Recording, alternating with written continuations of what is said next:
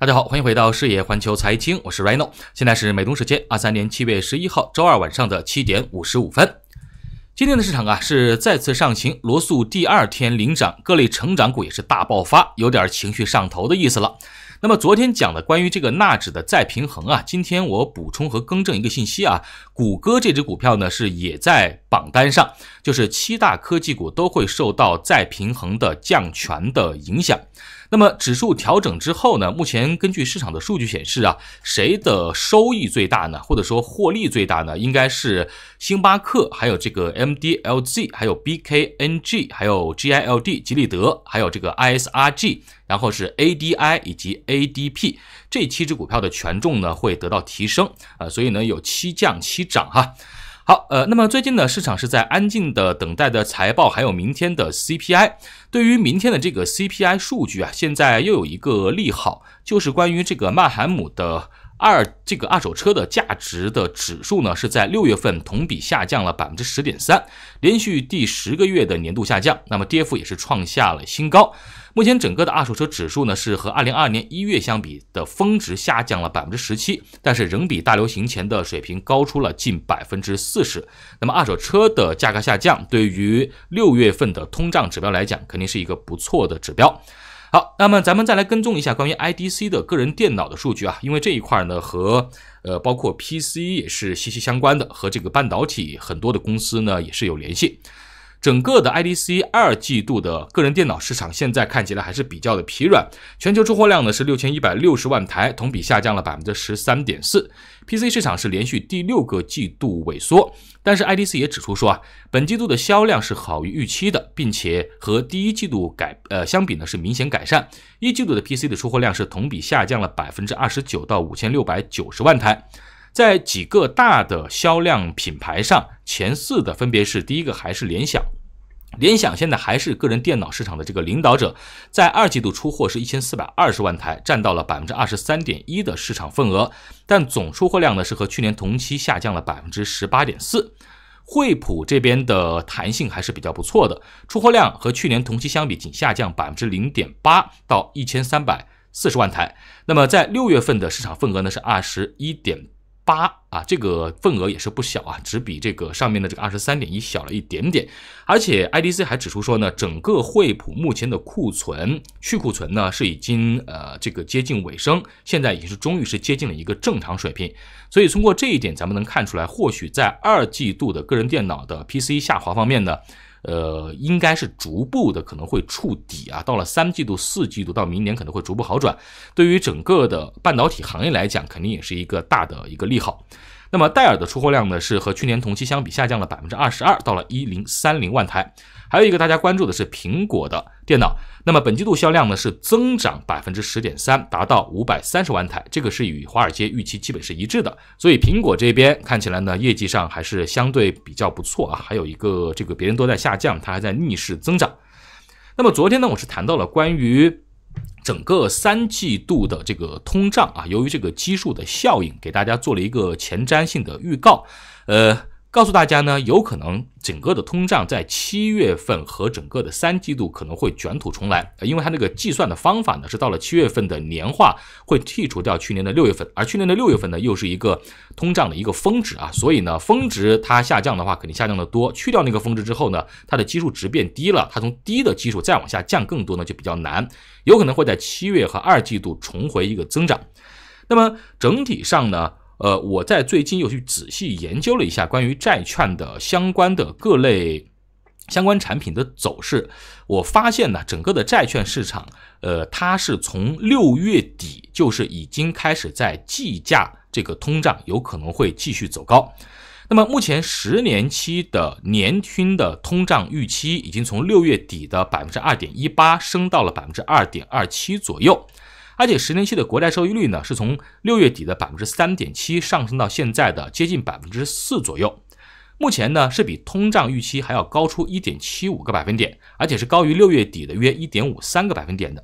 还有就是债券收益率和通胀预期之间的差距越来越大，这个迹象呢，是一个很明显的债券交易员认为通胀预期可能会继续走高，这个呢是压住通胀预期上升的一个标志。所以这个趋势呢，是从六月底开始就已经在发生变化的。另外还有一个需要注意的呢，是衡量债券波动的这个指数 Move。这个指数呢，是从七月六号我们看到出现过一次比较大的飙升，那么在最近呢，也是一直维持在一个相对一个月的一个高位，代表债券市场的资金它是在搞一些动作的啊，因为这个债券市场我们知道波动性其实通常较小，呃，突然间的这些暴升呢都是不太正常的，所以这一块还是处于一个高位，大家也得注意。那么现在的债券和股市啊，呃，我个人还是认为这两个里边肯定有一个在说谎。或者换个角度去理解，就是必须有一个出现调整，要么呢是十年期国债收益率它要往下去跌，要么呢就是股市往下去跌，这两个里边肯定有一个要调整，因为目前标普五百的前瞻市盈率咱们讲过是在十九倍多一些，那么如果把它的导数翻转过来呢，相当于是百分之五点二的一个指数收益率。这个只比十年期的国债收益率高出约一点二个百分点。对于股票来讲，这是一个低于正常的一个风险溢价的水平的。正常来讲呢，这个导数的指数收益率呢，应该是高于呃这个国债收益率，大概是百分之三到百分之四啊，它要获得一个相对比较不错的风险补偿，才值得继续去买买买。否则呢，从基金这边来讲呢，基金经理呢他是不会去追，他只能使用一些被动的策略，慢慢的去跟啊。好，那么所以呢，在股市最近的这个财报季，大家看到现在其实马上上方的四千四百五十八离得也不远，突破四千五百点之后呢，上方就要去到四千七百三十啊这个区间去做测试。那么现在市场想要必须上涨，那么在下面的两种情况，它至少要出现一种，哪两种呢？第一。要么是标普对于整个 Q 三还有在二零二三年的年度前瞻盈利预期必须增长啊，高于我们说市场对于下半年的展望；要么呢就是加息预期必须要下降，让十年期国债收益率呢往下去走，包括通胀下降的速度也要足够快才行。当然，我们说这两种如果同时满足，是不是更好呢？那更好，那对于股市就是更大的一个利好了啊！盈利上调，同时呢通胀预期下降，那就是一个大顺风。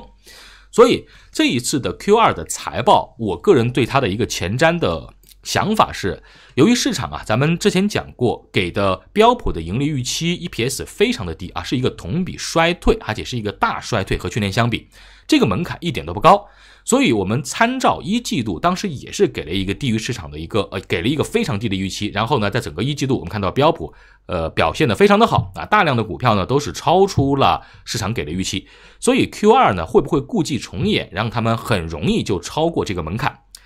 比较难的是什么呢？就是这个前瞻呢会怎么去给？因为标普在未来的整个的前瞻，大家市场是这么认为的：Q 三的盈利能力会得到改善，同比去年是不再有衰退了。就是衰退，截止到这个二季度彻底就结束了。那么 Q 四呢会大幅的增长，就是标普的 EPS，标普的 EPS 在 Q 四现在市场的预计是百分之七到百分之八的一个增速，这是非常乐观的一个前瞻。所以市场在 Q 二的财报里边，它是不能够给前瞻掉链子的，不掉链子，那么就能接着涨。啊，因为市场是一个比较符合预期，甚至高于市场在三四季度的预期的，那市场当然从业绩上是一个利好，就符合咱们刚才上面说的两种情况中的一种啊。好，那么说到这个前瞻呢，呃，关于财报和相关的，我今天看到一个非常有意思的指标啊，之前我是从来都没有见过的，不知道大家有没有见过这个指标？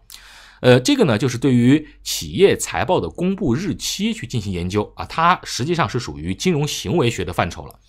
它呢，并不是研究市场的这个盈利呀，或者是经济的基本面，它是通过财报的发布日期来推测到底确定性高还是确定性不高。这个数据呢，是这个 Wall Street Horizon 这家公司设计的，叫做后期收益报告指数。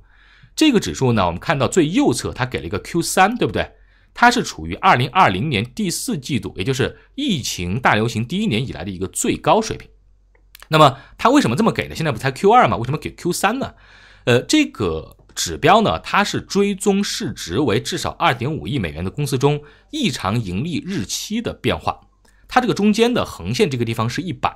那么，任何高于一百的数据都表明未来存在更大的不确定性，就是从业绩本身啊披露上，公司呢心里边也发毛。然后呢，低于一百呢，就意味着更大的一个确定性。他们给出的学术报告里是这么说的啊，说这个公司呢，如果将财报发布的日期推迟到比平时更晚的时候，那么就意味着可能有更多的坏消息要到来。那么高管们正在尝试避免不可避免的这个失望啊，希望呢把财报呢用更多的时间呢做得更漂亮一点。同样，反之来说，如果低于一百，代表他们发布日期呢会比正常的季度要这个日期呢要早一些，这通常都意味着比较好的消息，因为确定性更强嘛。那么目前 Q 二和 Q 三呢都是超过了一百，Q 三的发布时间呢现在它的统计呢是达到了一百五十五之多。意味着什么呢？意味着他们认为市场呢，这个高管们，标普的高管们对于 Q 三的财报的这个发布日期啊，是尽量想往后放一放啊啊，包括 Q 二的这个日期呢，也比正常的稍微的要晚那么一点点。嗯，所以呢，可能意味着更多的不确定性啊。其实这个从个人的心理上，我们也是容容易去理解的啊，就是当你需要做更多的呃这个。美化的时候，对吧？把这个财报更详细的去审议的时候啊，希望造成更小的冲击的时候，呃，用更好的措辞的时候呢，你通常啊需要更多的时间。所以这个指标呢，由于我是第一次看见哈，我也不知道效果怎么样，不知道大家以前有没有研究过它这个指标上面的这些时间和历史的股价的走势的这个相关性哈，大家呢做一个参考，因为它的研究方向是完全不同的。我们说这个股市啊，短期的波动呢是由这个看起来现在将由这个财报季来决定，但是长期的方向还是由经济周期还有包括利率周期来决定。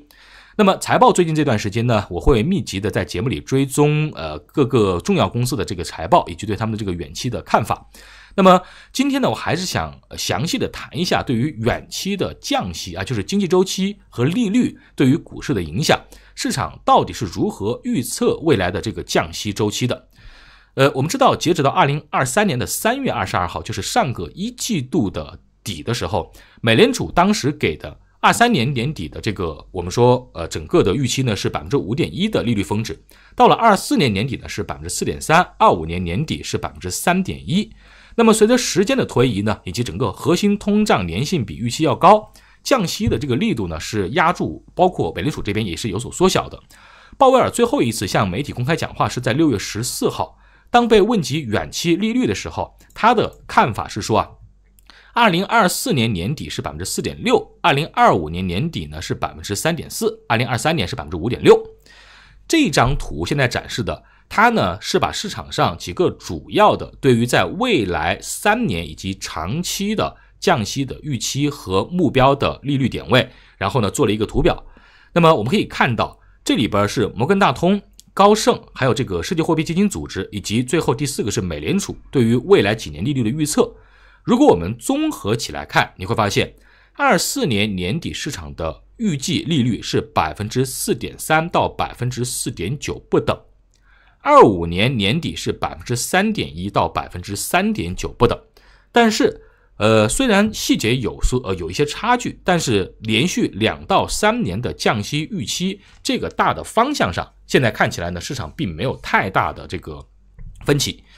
那么根据历史来看，降息之后到底股市的走势是什么样的呢？它到底是好还是坏呢？我提这个问题啊，是因为其实我在之前的评论区里边也看到过很多的争议啊，就是降息。有人说要涨啊，有人说降息要跌，呃，主要是有的朋友认为呢，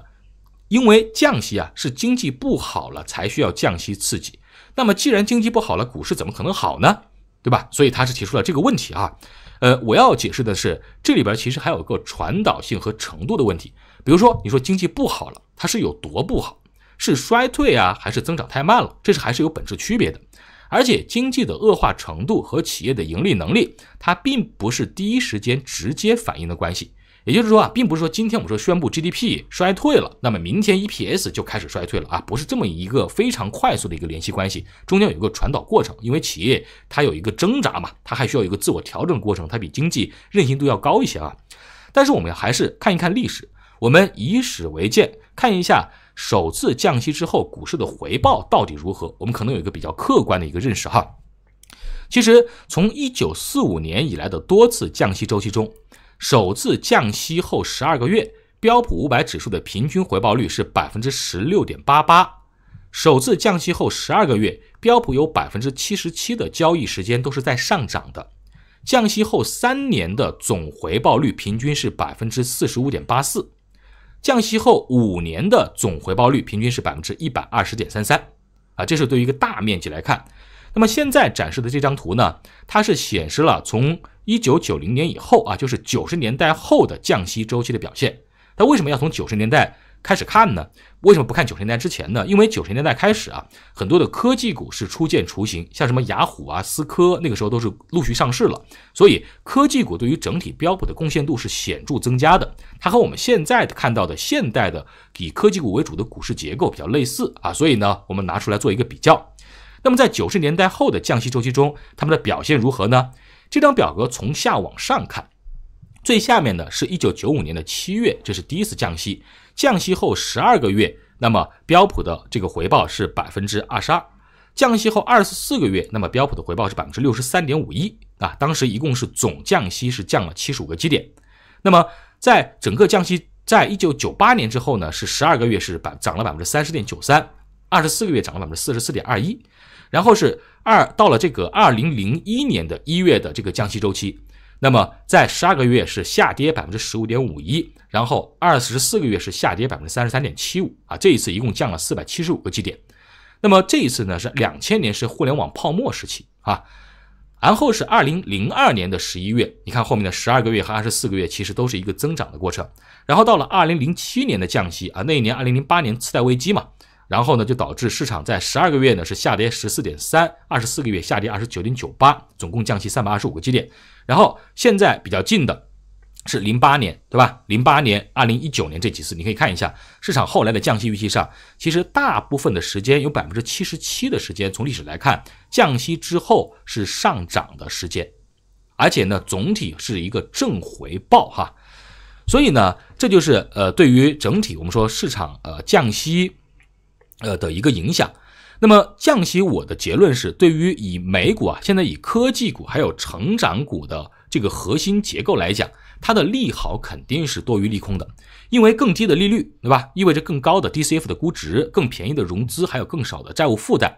那么对于一些依赖经济周期性的价值类的股票，那对他们来讲啊，利率其实反应没那么敏感，他们更多还是要看经济的健康程度，对吧？看全球的这个大的经济周期如何哈。所以现在由于美股本身科技股的权重就比较大，所以我认为降息总体对于市场来讲是一个大利好。所以对于远期降息之后，股市在未来三年是一个大的降息预期。总体上，我认为未来三年的方向肯定还是一个牛市上行，我还是一个比较乐观的一个态度啊。细节上无非就是幅度问题啊，就是能涨多少的问题，以及在什么地方进场对自己较为有利可图的问题啊，这个就属于细节操作了啊。个人有个人不同的看法。那么对于长期、远期看指数上行的朋友，只投指数不买别的朋友，那么未来几年呢？到了降息周期，其实你也不用害怕太多，你该持有呢继续持有，对吧？你该定投继续定投，你该逢低该加仓呢，你去加仓就完了呗，这个就很简单啊。长期看法就是这样，短期看法呢，我是在等一些适度的回调，买到更多便宜的股票啊，目的也是为了更好的长持哈。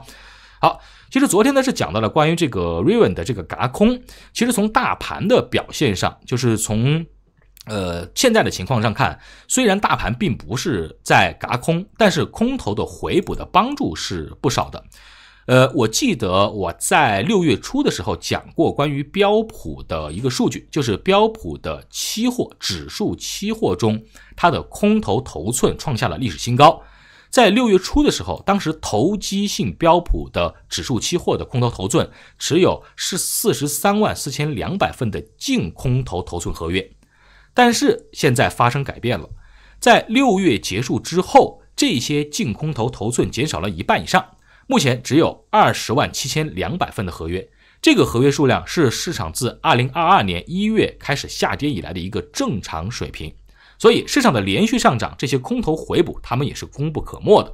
那么最近市场的波动比较缓慢，和投机性的指数性的空头的仓位回到正常水平也有一定的关系啊。所以呢，这个就是和大家讲解的关于市场啊现在一些基本面还有数据的一些看法。